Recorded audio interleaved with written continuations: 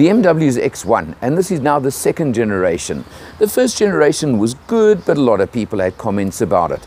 The second generation is lucky in the sense that being it's the second in another way too, because the 2 Series Active Tourer was the poor child, shall we say, that had to live with the fact that many people bemoaned of being the first ever front wheel drive BMW.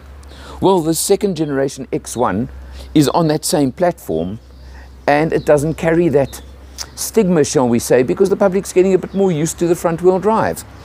And quite honestly, I don't see that it makes that much difference. But you have a look at, let's take a look. This is a full-sized five-seater family SUV. Smallish boot undercover, as you can see, the quoted figure is 216 litres, but of course you can drop the rear seats, you can take out the shelf, and you can go up to about 1100 litres of boot space if you need it for the family. Interestingly, for a BMW, is there is a space saver spare wheel under the boot. Because of course all BMWs do come standard with run flat tyres, so quite an interesting little anomaly. Most of the BMWs I've had lately have not had any uh, spare wheel. A nice feature, of course, on a lot of the SUVs these days, and particularly on BMW, press the little button, automatic closing of the boot. I really like it. You come around the car generally, as I said a moment ago, it's a fair-sized, good-sized family SUV. And perhaps BMW have decided to go with a front-wheel drive platform on the basis that they want to differentiate a lot more from the X3, which of course is the middle brother in the family of SUVs from BMW. And almost why have X1, X3? Well, here's the difference because now you can have front wheel drive as opposed to rear wheel drive. Or of course, there is the option in the X1 of all-wheel drive as well, where they put X drive instead of S drive, which is this one. And you'll also notice right now that this is the 2 litre petrol version, which means it puts out 141 kilowatts, 280 newton meters of torque. Pretty potent for a, hate to say, but mom's taxi maybe. Let's take a look inside.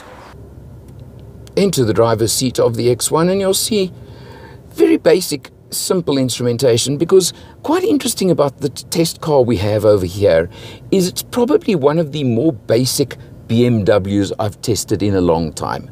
Not that I'm complaining, but it's good to get the more real feeling sometimes without a lot of the extras. You can see we've actually done 1141 kilometers on this test, which is a longer test than uh, maybe we often do.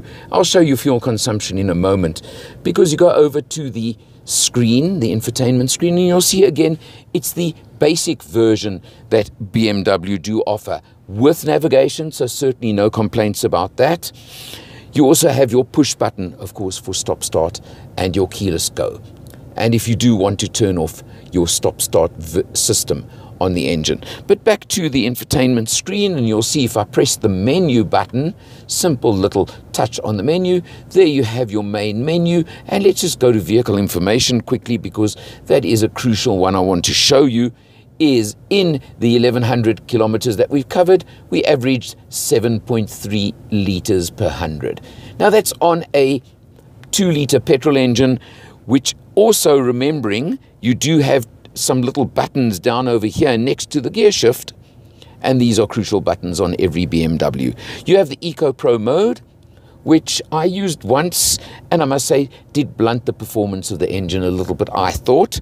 You have the default comfort mode, or you can go into sport mode on this car, which definitely firms everything up, changes the mapping of the revving, etc., and gives you that extra bit of grunt. And I used that a bit as well, so maybe that's why 7.3 litres, but it certainly is a real world figure, and I'm pretty sure you will never do any worse than that.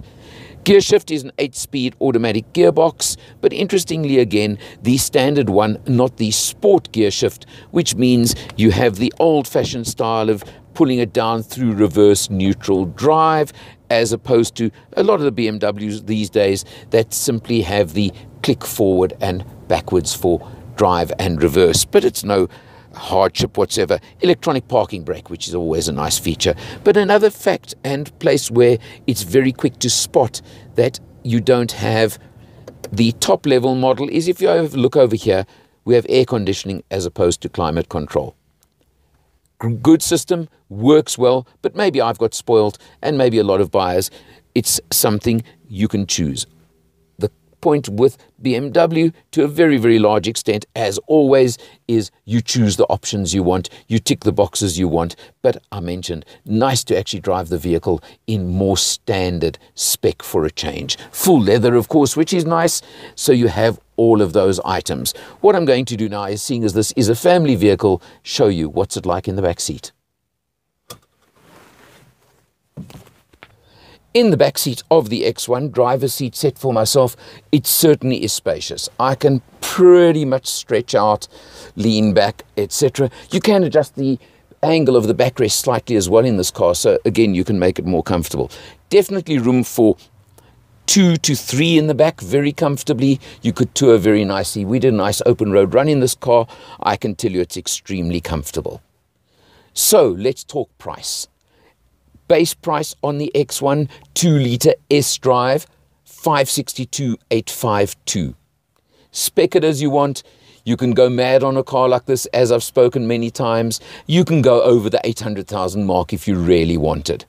It's one of those cars you can have fun with ticking boxes, and there's so many toys, extras, luxuries, safety features, etc., etc., that you can add to the car. You can do what you want. You can never go wrong. We all know that.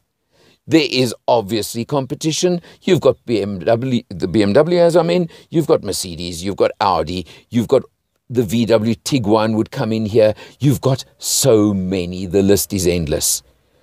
But BMW is BMW. You get that five year, 100,000 kilometer maintenance plan standard in the price as always. The car has a five star Euro NCAP rating. It ticks all those boxes you're going to want. And if you're a BMW driver or you aspire to be a BMW driver, this is one you need to take a look at. For Motor Matters, I'm Alan R, and I'll see you next time.